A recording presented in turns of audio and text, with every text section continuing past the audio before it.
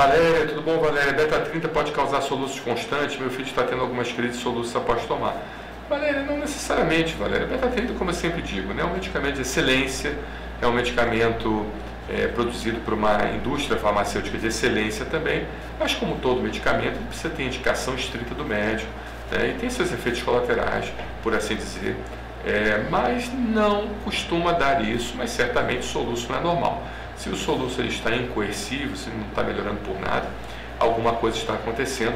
Você precisa buscar seu médico de imediato. Né? A maioria dos quadros de soluço estão relacionados à irritação do diafragma, no nervo frênico do diafragma. Nós temos um nervo nessa região aqui que separa o abdômen do pulmão, é num músculo que separa o abdômen do pulmão chamado diafragma. Existe um nervo chamado nervo frênico. E esse nervo frênico, quando ele é irritado por um processo de tosse mesmo, ou alguma coisa que venha a irritar o nervo frênico, né?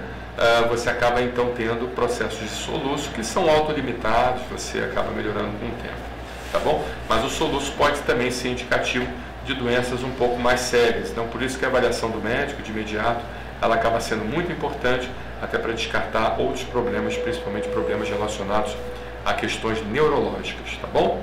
Obrigado, Valéria. Um abraço.